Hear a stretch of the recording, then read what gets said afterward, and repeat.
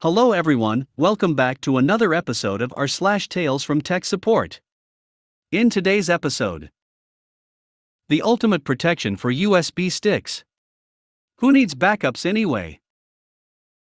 I'll have you know I've been working on computers for 10 years. Before we get started, make sure to subscribe so you will never miss a video. So let's get started. The ultimate protection for USB sticks. Who needs backups anyway? I just remembered this special interaction I've had. It has become my number one tale to scare my users into backing up their files, and I thought I'll share it with you. Excuse any grammar errors, English is not my first language. It was a couple of years ago, I was fresh out of my apprenticeship and my first real job at a big university in Central Europe. My team consisted of six people, every one of us has a couple of faculties to support. We also have a help desk that routes calls from those faculties to the right supporter and that answer the general problems from students. At that time, my faculty was the law faculty. Now, law professors are a special breed, on par with doctors in their God complex. But everyone knows the secretaries are the people that actually run this joint, and even the profs are scared of angering them. To make my life easier, I made a point to befriend them. This was made easier by the fact that I am their first female supporter, and they were so fascinated by this that they regularly invited me for their daily coffee and cake breaks. That also meant they sometimes ask me for things that I'm strictly speaking not allowed to provide. Enough of backstory, let's get to the story. Dollar me equals obviously. $HD equals student that works in help desk and routes slash screens calls. $Fave SEC equals my favorite secretary, was a sweetheart, but not very computer savvy.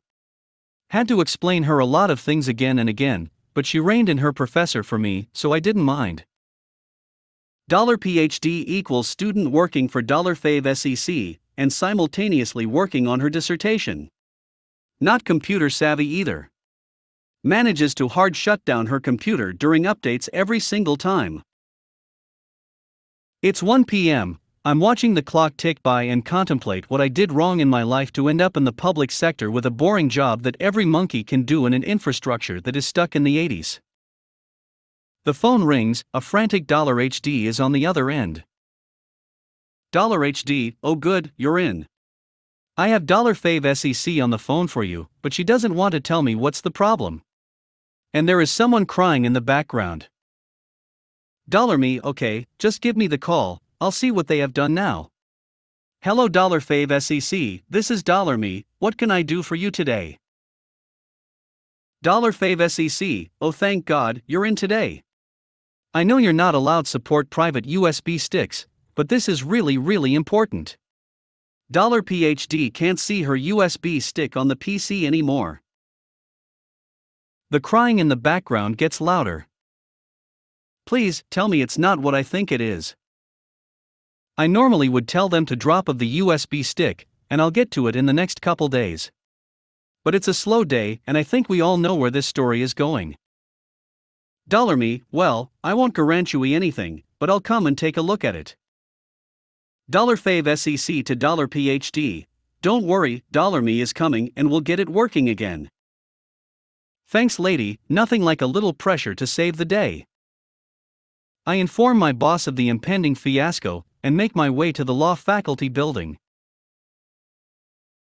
As I enter their floor, I see secretaries like meerkats popping out of their door and just as fast disappearing again.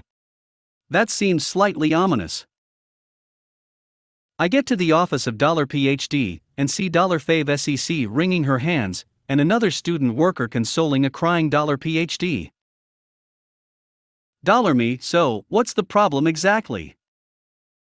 Dollar PhD, I came in this morning, put in the USB stick, and I can't see it. It has my dissertation on it. I have to submit it next week. Mother asterisk asterisk asterisk asterisk asterisk. I take a look at it and sure enough, nothing in Explorer, but I can see an unidentified mass storage device in Device Manager. But surely this is not the only copy of her dissertation. She probably lost like a couple hours of work, but not her whole dissertation. Surely. Because who would work on a dissertation for a couple of years on only save it on one USB stick? Well, this idiot did. She worked on it on her private laptop at home, but never saved a copy there. For years she was working on the same document, reading and writing on this USB stick.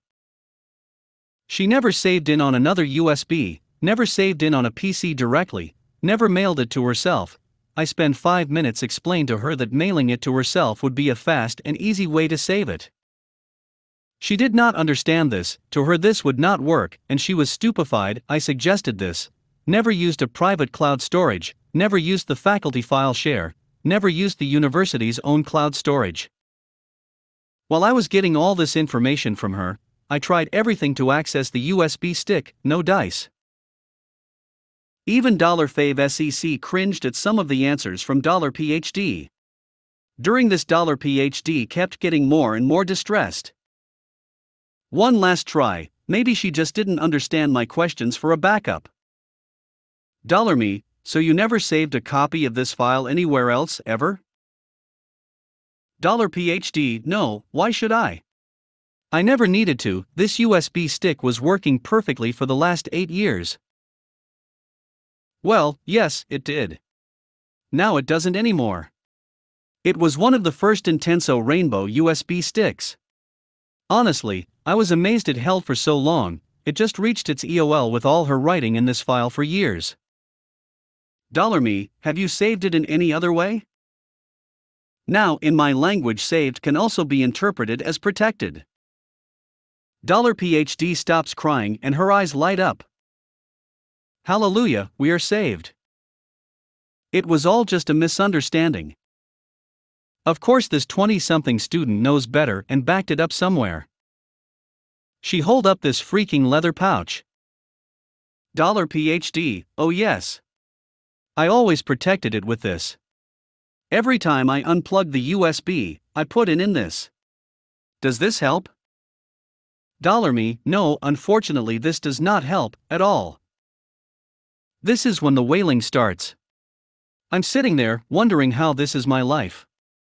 The other student worker proceeds to half drag Dollar PhD out of the office into another one, while Dollar Fave SEC looks at me with wide eyes.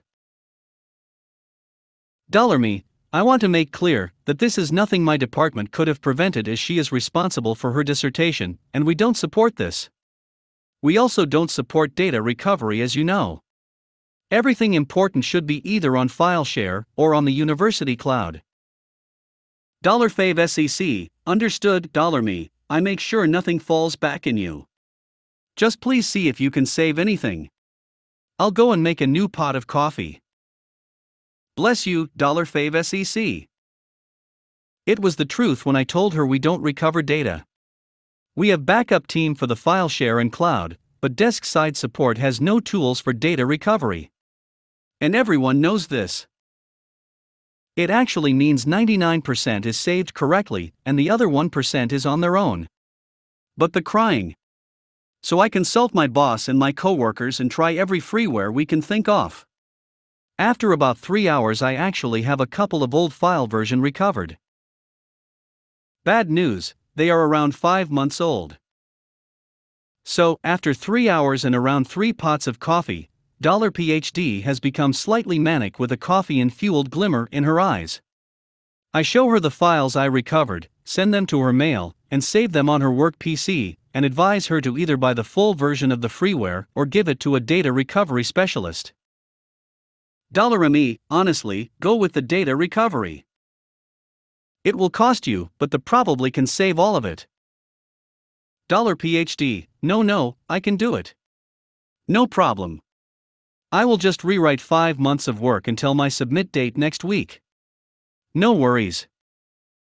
She keeps mumbling while walking to her PC. I'm slightly unsettled and just want to get out of her office ASAP. Fave SEC gave me some muffins as a payment. I get back to my office and find my coworkers on a smoke break. I still can't believe what just happened and tell them about the leather pouch. They were all equally mystified as I was about how stupid users can be. But as I said, it has become a good story to scare users into saving, and a great icebreaker when meeting new IT people. And as far as I know, Dollar $PhD managed to get an extension on her submit date. I'll have you know I've been working on computers for 10 years. That's how the call started. Then she went on to tell me how she wasn't going to be talked to like some child. This is gonna go great, I moaned internally. Her computer was running slow.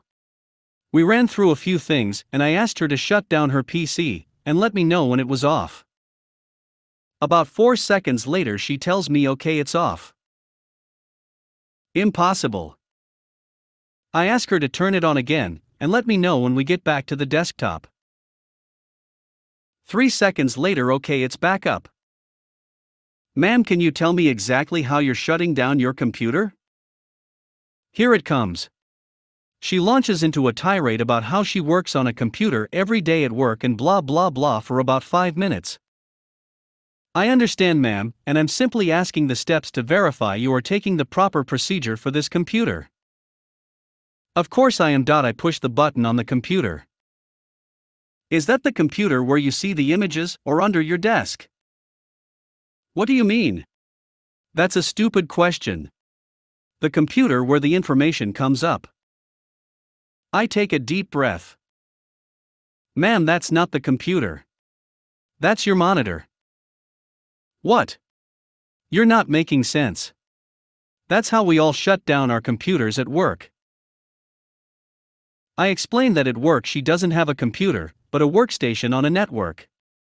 I explain that turning off the monitor does not affect the PC at all. Then I walk her through proper shutdown procedures, and we reboot her PC. When it reboots, it installs several updates, including multiple driver updates. Hey! You fixed the colors. She never mentioned video issues. And it's running smoother again.